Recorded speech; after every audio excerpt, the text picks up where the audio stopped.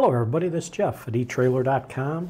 Today we're going to take a look at this Master Lock trailer coupler lock in the gray finish, and it can be keyed alike. Now this is a gray coated die cast zinc trailer coupler lock, and it'll lock onto your trailer coupler and guard against trailer towaway theft. This one here you can see has a nice gray zinc finish to it that'll resist rust and corrosion. And it is designed to fit most 1 and 7 8 inch, 2 inch, and 2 and 5 16 inch ball diameters. And they'll fit the following coupler brands. They'll fit on the Reese, the Fulton, the Atwood, the Putnam, Marvel, Ideal, Acme, and the Dutton Lainson. Basically, your coupler just needs to have a flat lip on it, no larger than 5 eighths of an inch wide. And just to show you what we're talking about, I happen to pull a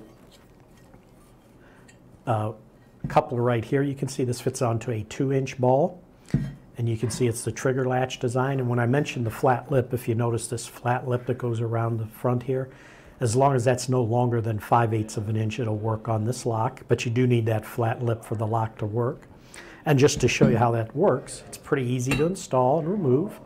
Basically, this locking mechanism, we'll first go over that. If you look right here on the locking mechanism, if you see real close, there's actually three positions it offers. There's one dot over here, one at the very top, and then one right here.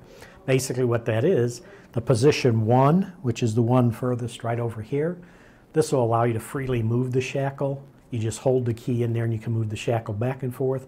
Once you let it go, it's spring loaded. Guess I can show you that. We'll go ahead and put the key in there. And you can see if I turn it all the way over to one, you can slide your shackle back and forth. Now once you let the key go, it'll spring load back into the position number two. And what position number two does is it'll let you ratchet the shackle toward the ball coupler. So you can see just like that. And then you turn it, bring it out. And once it goes back into two, you can ratchet it toward the coupler. And then position three, which is way over here, if you just turn it to that position, you remove your key, that keeps it in the lock position. So now what I want to do is demonstrate it on the ball coupler. So we're going to take it all the way out this way.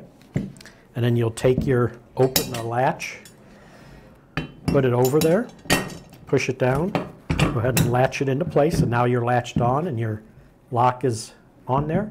But then the thing you want to do now is to lock it into place, you just, you're in the position number two, so you can push it all the way, turn it to three, pull your key out, and now it's locked. It's not going anywhere. So if somebody, this is stay attached to your trailer, so if somebody wants to try to hook up to your trailer, and they open the latch just like that, even though it's unlocked, you can see it's not going to let anybody get into there and hook up and take it away.